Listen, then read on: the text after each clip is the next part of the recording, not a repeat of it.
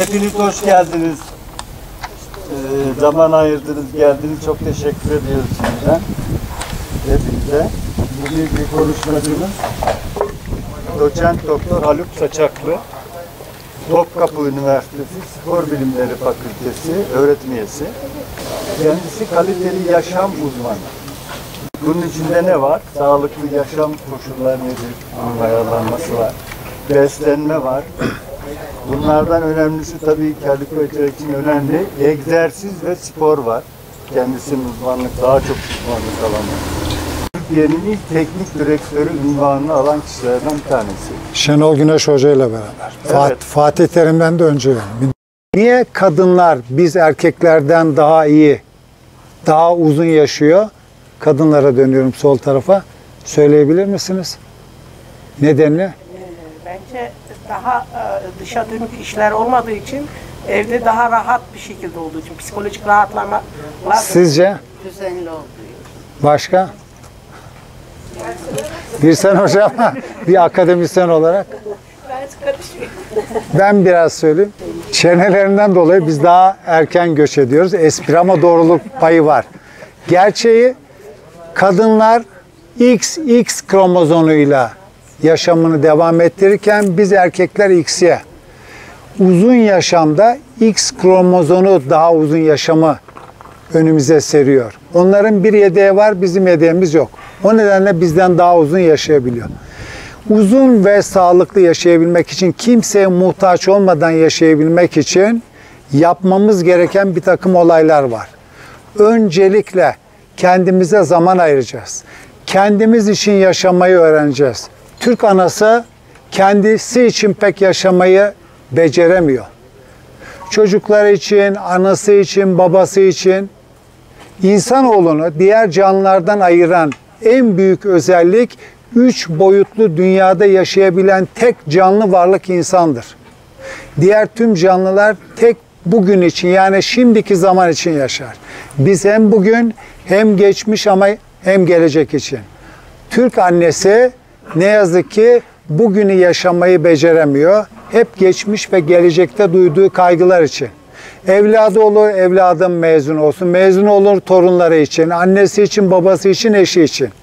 Lütfen kendimiz için yaşamayı öğreneceğiz. Bugünü yaşamayı öğrenemediğimiz sürece asla ne uzun ne de sağlıklı yaşayamayız. Kadın ya da erkek mutlu olabilmeyi öğrenecek. İşte doğa harikası bir yerde yaşıyorsunuz. Allah'ın verdiği büyük bir nimette bugün mutlu olabilmeyi, bu mutlulukta yaşayabilmeyi öğrenemediğiniz sürece ne sağlıklı ne de uzun yaşayamazsınız. Kendinizi sevmeyi öğreneceksiniz. Öncelikle insanoğlu kendisini sevmediği sürece hiç kimseyi sevemez. Ömür boyu düzenli ve bilinçli egzersiz yapmayı öğreneceksiniz. Mehmet Hocam söyledi. Gençliğimde milli sporcuydum. Milli takımlar çalıştırdım. Yaşım 67. Ben şu an spor yapamam. Ama sağlık için egzersiz yapmayı öğrendim ve bunun için iki bacağım gövdemi taşıdığı sürece egzersiz yapıyorum. Bir adım sayar. Her gün 10 bin adım atmak zorundayız. Cep telefonlarınızda var. Ama bu cep telefonuyla 10 bin adım yakalamak için devamlı yanınızda taşırsanız o zaman buradan da bir sürü radyoaktif mavi ötesi ışınlar alıyorsunuz, sağlığınızı yitirir. Ama ona bağlı entegre olan bir adım sayarla Türk insanı 5000 adım ve altında yaşıyor. En kestirme yoldan evime nasıl gideceğim onun düşüncesiyle yaşamını devam ettiriyor. 5000 adım ve altında attığınız sürece kaliteli yaşamdan hepsinden uzak duruyorsunuz.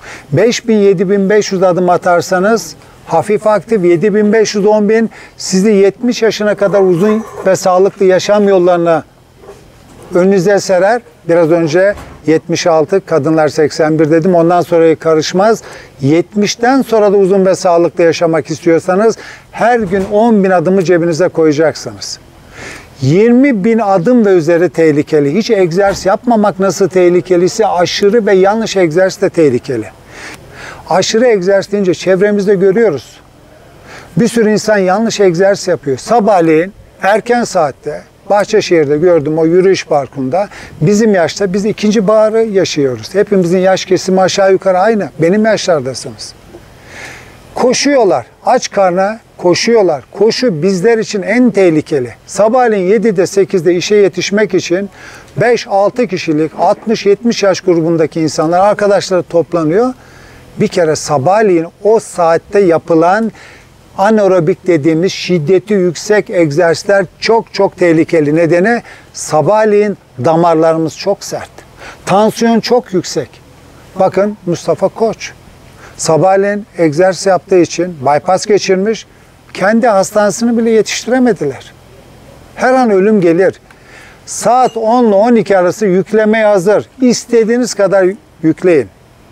Uyku bozukluğunuz var ise gece 21'den sonra egzersiz asla olmaz. Nedeni soracak olursanız vücut ısısı artıyor egzersizden sonra. 36,5 santigrat dereceye gelmesi için en az 4 saat gerekiyor. Egzersizde enzim ve hormonlar değişiyor. Onların eski haline gelebilmesi için 4 saat. Haluk Hoca kaliteli uyku ne? Kaliteli uyku 22 ile 24 arasında yatağa gireceğiz. 05-07 arasında kalkacağız. Yatsı namazı, sabah namazı hep buna göre organize edilmiştir.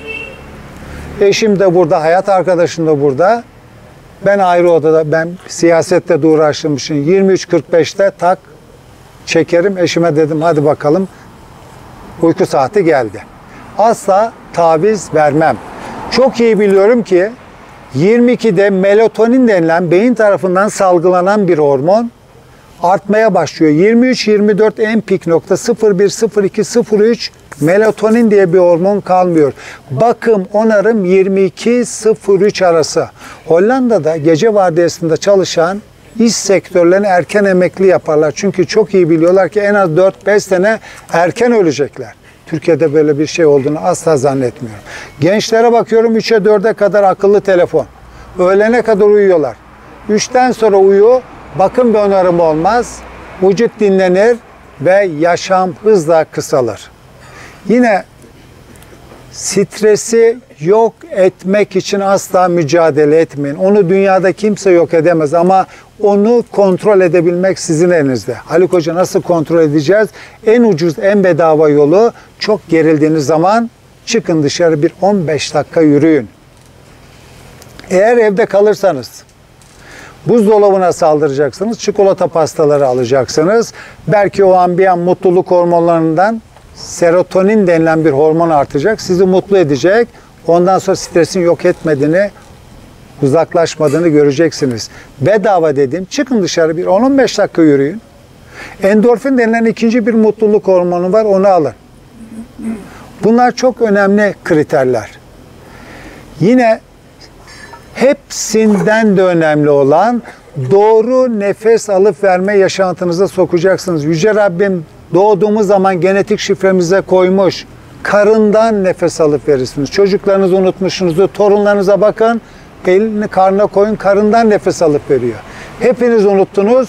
Göğüsten nefes alıp veriyorsunuz. Havayı buraya sıkıştırıyorsunuz. Önce karnımı havayla dolduracağım. O havayı göğsüme ve buraya atacağım. Nefes verirken küçüleceğim.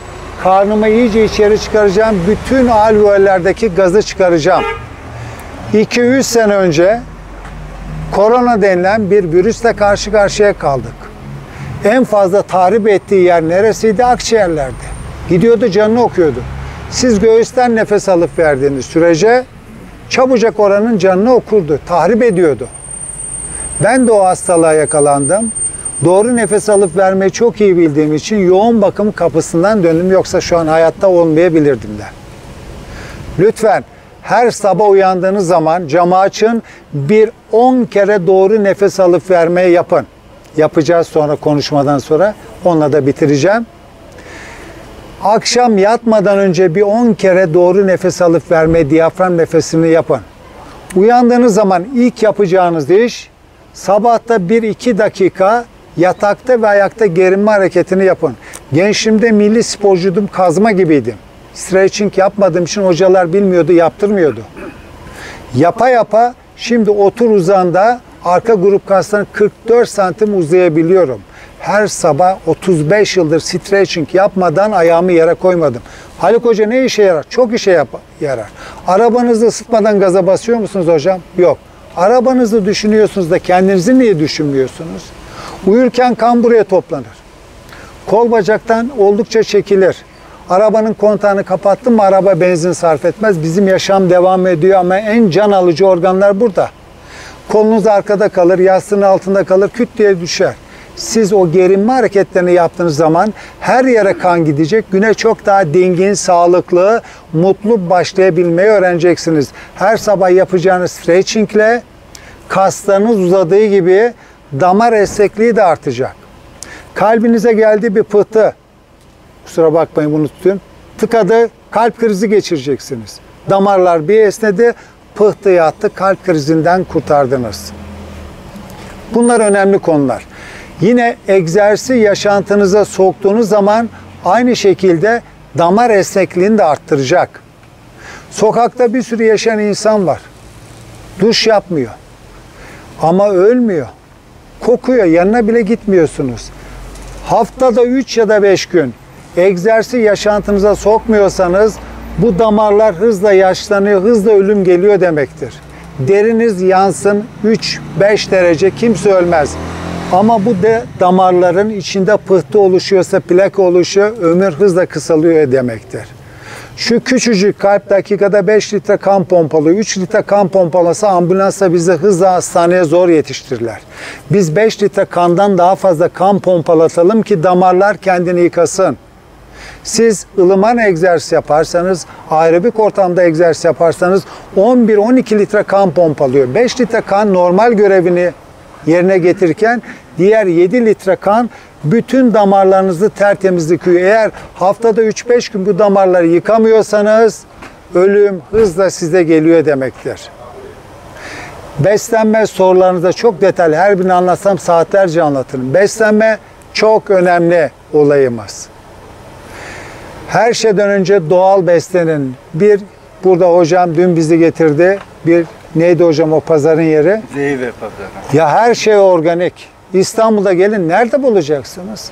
Böyle bir yaşantınız. Her şey patlıcanlara bakıyorum organik her şey. Büyük bir şans içerisinde yaşıyorsunuz. Hiç kimse bu imkanın içerisinde değil. Ama beslenmede bugün en büyük hata endüstri gıdalarla beslenmektir. Her türlü Sayın hocamın, Birsen hocamın yanında konuşmak ayıp kaçar. Kimya profesörü. O kadar çok yanlışlık yapılıyor ki. Gençleri hızla bir takım olumsuzluklarla karşı karşıya bırakıyoruz. Bir kere gençlerimize öğreteceğimiz en önemli olay mutfak kültürümüzü yani tencere yemeğinden uzak tutmayacağız. Fast food alışkanlığından onları mümkün olduğu kadar uzaklaştırmak zorundayız. Bir mısır şurubu denilen bir belayı bize sardılar. Hiç çekinmeden her televizyonda söylüyorum. 2000'in çok üzerinde televizyon programı yaptım. Nedir bu glikoz sonu O ve Z ile biten hiçbir şey ağzınıza koymayın. Kendiniz evinizde yapın.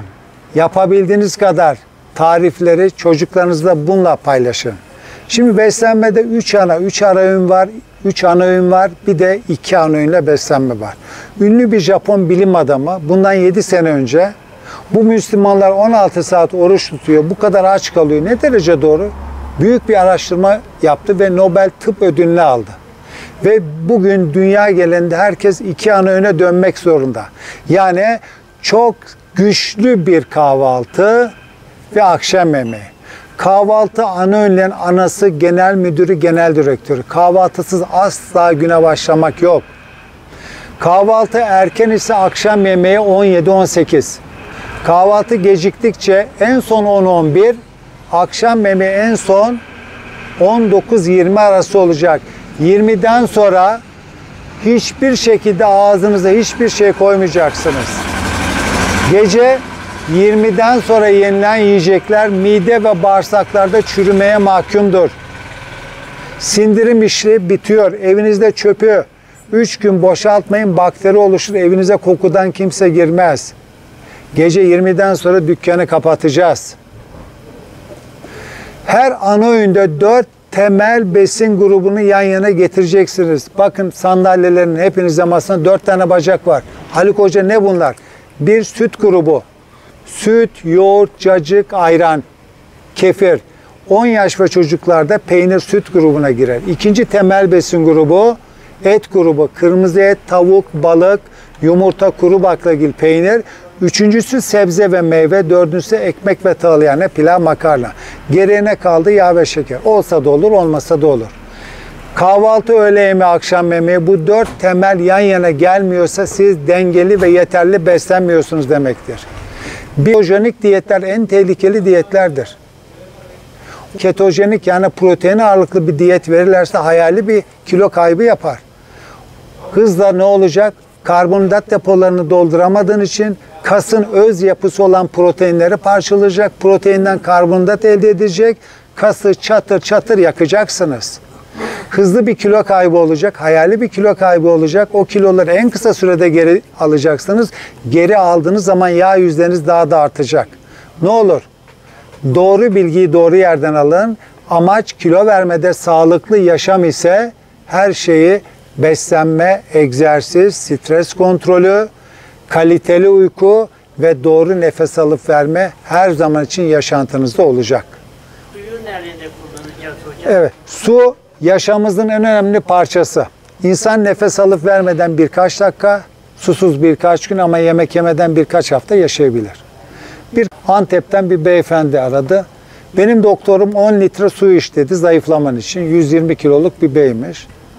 Dedim ki 10 litre su içersen su zehirlenmesine neden olursun. Her şeyin fazlası. 3,5 litrenin üzerine su tüketmeyeceğiz. E çok fazla su içersen böbrekleri de bitirirsin, yorgun da olursun.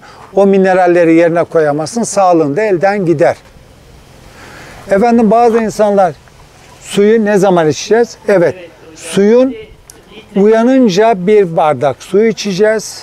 Akşam yatmadan, prostat sorunuz varsa akşam yatmadan önce içmeyin. Daha hızlı yağ yakmak istiyorsanız yürüyüşe çıkmadan 15 dakika önce 5-10 santigrat derecede soğuk su için. Niye? Ilık su 80 dakika midede kalır. Midedeki su işime yaramaz. Soğuk su içeceğim ki mideyi terk edip kas hücrelerine gelip o yağ yakmakta metabolizmayı daha etkin çalıştırsın. İştahın çok mu açıldı? Yemekten önce ılık su iç. O zaman aşırı yemeği engellersin. Günde 8-12 bardak havanın ısınmasıyla en fazla 3,5 litreye kadar ama çay kahve suyun yerine tutmaz. Çayda ve kahvede kafein var, sodyum var. Su kaybına neden olur. Ama içtiğiniz her türlü bitki çayı suyun alternatifi olarak sayabilirsiniz. Su ama alkali su içeceksiniz. Yediklerimizin, içtiklerimizin %60'ı asit, %40-45'i alkalidir.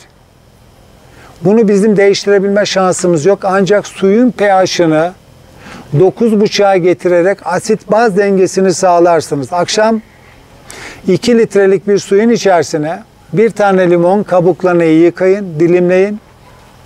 Bir tane çubuk tarçın, su da rica edersem ağzım kurumaya başladı.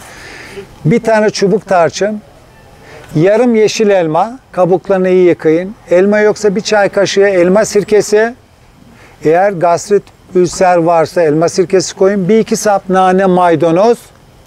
Suyun pH'i sabaha kadar 9,5 olur. Ve akşama kadar bittikçe ilave edin. Akşamleyin o malzemeleri yenileyin. Ve bu şekilde asit baz dengesini dengeleyeceksiniz. Çok daha sağlıklı yaşam yollarını yakalayacaksınız. Bir sihirli formülde bağışıklık sisteminizi gel- yükseltebilmek için not alabilirsiniz. Bir karışım, son 3 yılın en önemli karışımı. Bütün tıp uzmanları da bunu diyor. Zerdeçal, çörek otu, sızma zeytinyağı ve karabiber. Bu dördünü yan yana getireceksiniz. Sızma zeytinyağı ile karabiber, zerdeçal ile çörek otundaki bütün antioksidanların bağırsaklar tarafından emilimini kolaylaştırıyor. Bir tatlı kaşığı sızma zeytinyağı, bir çay kaşığı toz zerdeçal, bir çay kaşığı çörek otu, bir çay kaşığın ucuyla çok az karabiber.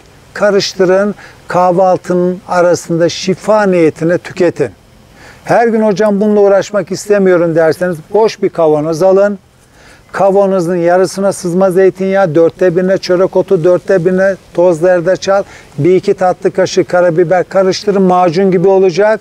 3 ay size yeter. Şifa niyetine kahvaltının arasında tüketin. Ne işe yarar? Bağışıklık sistemimizi güçlendirir.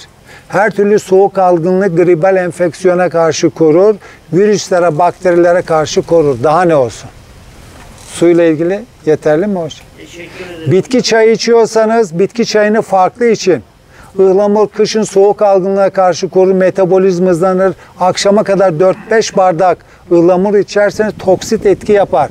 Biri ıhlamur, biri kuşburnu, öbürü ada çayı, diğeri farklı olsun. Soruları bekliyorum. Ben bir tane daha sorabilir miyim bir taneler? Tabii bileceğim soruysa sor. Zor olmaz. Kısır, bunlar burada çok tüketiliyor. Bunlar hakkında bir bilgi rica edebilir miyim? Kuru baklagiller en önemli besin öğemiz. Ne yazık ki gençler bundan uzaklaşıyor. Bugün kabızlık denilen bu sorunu çözecek olan kuru baklagillerdir. Kuru fasulye, nohut, bulgur, mercimek. Rahmetli Ayşe hocamız vardı. Yeşil mercimek stokları artmıştı. Yeşil mercimek indi. TRT'de boyuna reklamlar dönüyordu. Keşke gençlerimiz bunu tüketsin.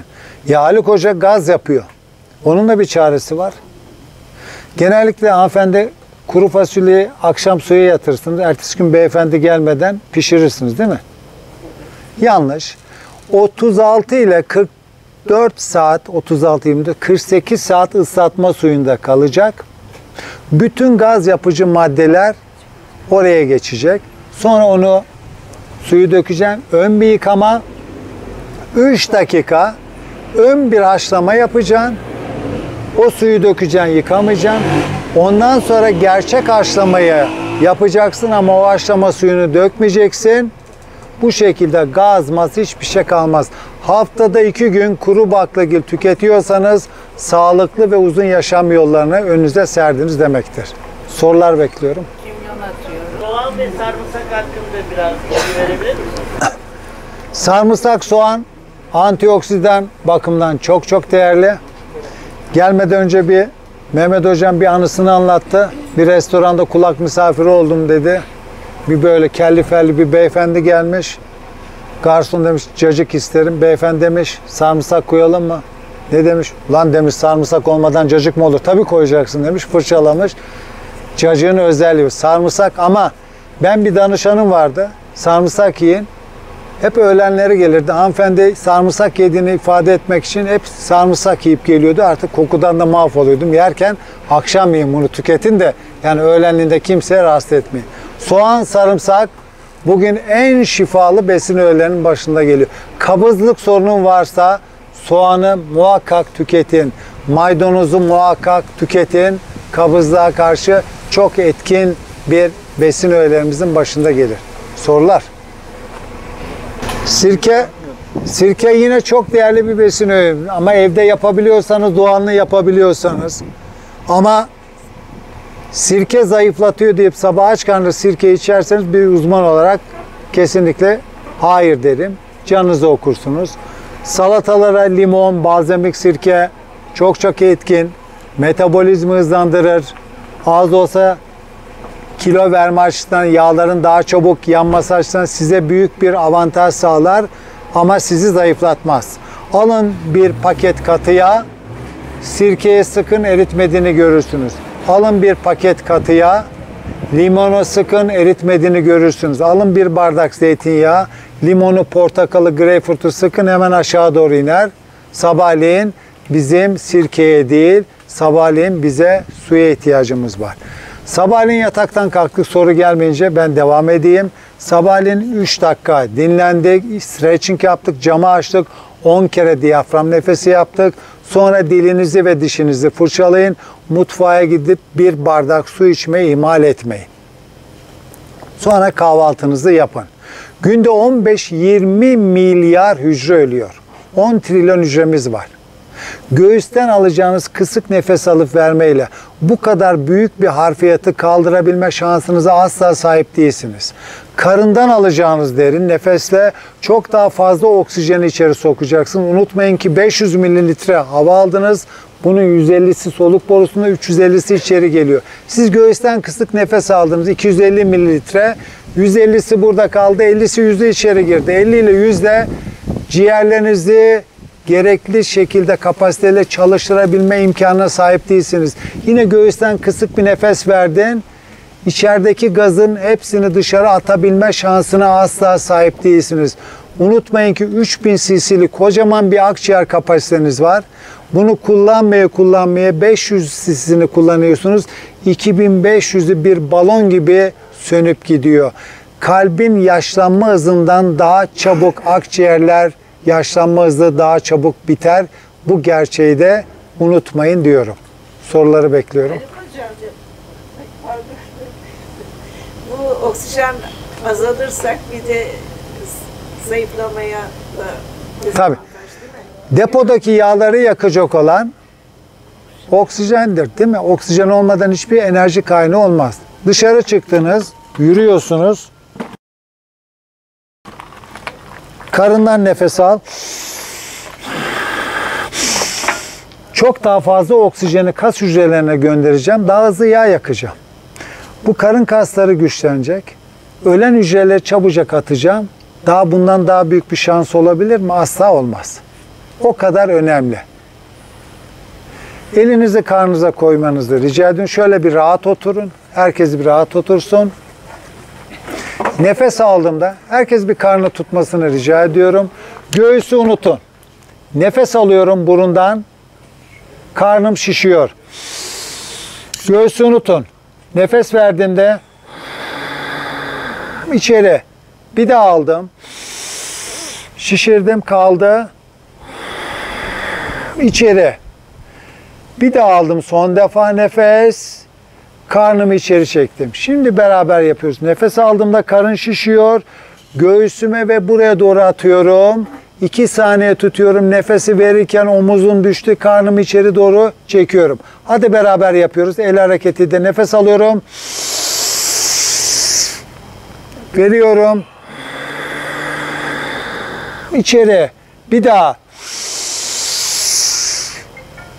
Yavaşça veriyorum. Omuz düştü. Karın içeri. Son defa. Haydi. Verdim, verdim, verdim. Karın içeri. 10 kere yapın. Başınız dönmeye başlayacak. Size diyecek ki neredeydi aklım bu zamana kadar? Başın dönüyor. Zamanla bunu düşünerek yaptığınız zaman uyurken bile karından nefes alıp veriyorum. Çok daha sağlıklı, uzun yaşamlı yakalamış oluyorsunuz. Bunu asla unutmayın. Nefes alıp verme yaşamımızın en önemli faktörü. Evet, bu muhakkak olacak. 10 yaş ve çocuklarda süt yerine peynir geçer ama biz süt yerine artık bizim yaşta peynir asla yerine kompanse edemez. Eğer bunlardan birini eksik yaparsanız ne yeterli ne dengeli beslenemiyorsunuz. Sağlığınız elden hızla gider. Kalsiyum bakımından en zengin süt grubudur. O bakımdan bunları dengeli bir şekilde içeri sokacağız. Sütü yoğurdu ağzına alma diyen bilgi asla doğru bilgi olamaz. Üç, bağışıklık sistemimizde en çok güçlendirecek ana besin gruplarından biri. Nasıl ondan uzak kalabiliriz ki? Allah'ın verdiği bir şeyi nasıl yeme diyebilir bir uzman? Buna gülüp geçiyorum. Böyle bir şey olamaz. Yumurta anne sütünden sonra en değerli besin öğesi. %98'de en iyi kaliteli. Anne sütü %100'dür. Yumurta %98, etler %75, bitkiseller %50'nin altındadır. Ama günde bir tane yumurta doğal olanla gezen tavuk yumurtasını tüketin. Endüstri yumurtalardan mümkün olduğu kadar uzak durun. Bir tavuk dışarı çıkıp solucanı yiyorsa, efendim orada çer çöp yiyorsa onun yumurtası da eti de doğaldır. Egzersiz, egzersiz. Peki nasıl egzersiz? Şimdi eğer bir insülin direnci oluştuysa en baş belamız insülin direnci. Bugün kilo veremiyorsanız çoğunuzda insülin direnci. Kilo verememenizde ana nedenlerinden bir numaralı insülin direnci oluşmuştur. İki, tiroidler yavaş çalışıyordur. 3 B12 vitamini eksikliği vardır. 4 demir eksikliği vardır. Beşincisi de D vitamin eksikliği vardır. Bugün Türk insanın %80-90'da D vitamini eksikliği. Sadece kilo verme değil, sağlıklı ve uzun yaşamda D vitamini hepimiz için çok çok önemlidir. İşte bu kadar güneşin olduğu bir yerde Bazı insanlar var ya hocam günde 5 saat güneşin altında yatıyorum plajda. Yine D vitamini eksikliği var. E tabi doğru. Sen yarım saat güneşleniyorsun, küt denize atlıyorsun. Güneşten aldığımız D vitamini, doktorun verdiği D vitamini yağda eriyen vitamindir. Ultraviyeli sentezlemeyle D vitamini dönüşürken yıkadın, suya daldın, D vitamini gitti. En az 3 saat fırsat tanıyacaksınız değil mi Birsen Hocam? İşte en dik olduğu zaman 12 ile 1 arası açık tenliler 15, koyu tenliler 20 dakika ama yüzünüzü bir 3 saat yıkamayın ki o D vitamini sentezlemeye o ultraviyole ışında aldığımız D vitamini dönüşme fırsatını verin diyorum. D vitamini tekrar söylüyorum bağışıklık sistemini güçlendirecek olan en önemli silahınız. Bunu da asla unutmayın. Erkek çocuklarda boy 24-25 yaşına kadar uzar, kız çocuklarda 19-20 yaşına kadar uzar. Uzun kem yürüyüş yerinde en kötü zemin beton zemindir. Asfalttan bile kötüdür. Asfalt hiç olmazsa yazın çok sıcak havalarda ısındığı için hafif yumuşar, absorbe eder. Ya hocam ben iyi bir yürüyüş ayakkabısıyla yürürüm. Hayır, ne kadar yürürsen yürü bizim yaşlardaki insanlar ortopedik rahatsızlıklardan kurtaramayız. Toprak zeminde yürüyeceğiz. Düz bir zeminde belediyenin yaptığı tartan zeminlerde yürüyeceğiz. Yürümüp koşma asla yok. Koşmada yaşında her gün bir saat yürüyen bir kadın 60 yaşına gelince iki buçuk saat yürümek zorunda. İki buçuk saat yürüyecek ne zaman ne derman kalamaz. Çözüm ne? Çözüm haftada iki ya da üç gün 10 ile 15 dakikadan toplam 30 ile 45 dakika direnç çalışması yaparsanız ne beslenmeden bu kadar kısmaya ne de yürüyüşe iki buçuk saat yürüyüşe bir zaman ayırma durumunuz kalmayacak. Kaslar sizin en büyük silahınız. Kasın bu E, sabahleyin kalktığınızda direnç egzersizi demiştiniz ya. Hani kasılmalar. Onu nasıl yapacağız? Stretching de bir direnç çalışmasıdır. Efendim plank bir direnç çalışmasıdır. Teraband bir direnç çalışmasıdır. Dumbbell bir direnç çalışmasıdır. Makineler bir direnç çalışmasıdır. Daha hızlı yağ yakmak istiyorsanız 16 ile 18 saatleri arasında yürüyüşlerinizi yapın. Canınız tatlı mı çekti? Saat 16 ile 18 saatleri arasında tatlı yiyin. 16 ile 18 saatler arasında tatlı yerseniz en az hasar orada olur. Akşam yemeğinden sonra tatlı yerseniz hele hele gece 20'den sonra insülin hormonu 24 saatin 18 saati yağ depo et, yağ depo et, yağ depo et emir verir canınızı okur. Tatlıyı yedikten sonra yarım limonu alın bir çay bardağına sıkın hiç su ilave etmeden için kaloriyi yakmaz öyle bir şey yok. Pankreas 5 ünite insülin gönderecekse limon suyunu görünce 3 ya da 4 ünite insülin. İnsülin ne kadar çok az gönderirse tatlıdaki yağ o kadar az yağ dönüşür. Canın çikolata mı istedi? Yine 16-18 ama bitter çikolata yiyeceksin. 30 gramı 3 taneye geçmeyecek. Çikolata ile beraber az yağlı sütlü bir kahve içeceksin. Takım içtin. 56 dakika 24 saat içerisinde yürüyorsan iç. Yürümeyeceksen içme kardeşim. Erkeklerin karaciğeri 1 bölü 2 duble sert içkiyi yenileyebilme. Kadınlar 1 bölü 4. Erkeklerin karaciğeri 2 kadeh şarap. Kadınların 1 kadeh şarap. Onun üzerinde alınan alkol karaciğerin canını okur. Şarabın hangisi tercih kırmızı şarap? İyi huylu kolesterol dediğimiz HDL'leri arttırır. Bira mı şarap mı? Sert içki mi? Sert içkide yüzde 40-44 saf alkol var. Birada yüzde 5-6, şarapta yüzde 8-12. Bira arpadan elde edildiği için hızlı şeker çok fazla. Birayı içmeyin. Hemen yağlanma yapar. Tercihinizi şaraptan yana kullanın.